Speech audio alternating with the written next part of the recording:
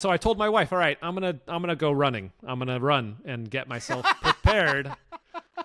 and I never did. I didn't run because I don't like running anymore, man. I don't want to run.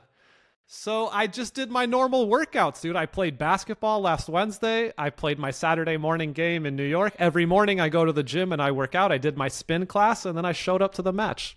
I mean, basketball can get you into it a little bit if you're doing shuttles. Like, you know what I'm saying? It can Yeah. get your cardiovascular stuff into. But at what point during the game were you like, "Oh my god, I am, I, I can't do this"? Oh, uh, I- I know the exact moment. It was the 85th minute. I was already dead. And I turned to the referee and I was like, "Hey, are we going straight to penalties or is there extra time?" And he was like, "No, two two 15 minutes." And I was like, "No, dude. No."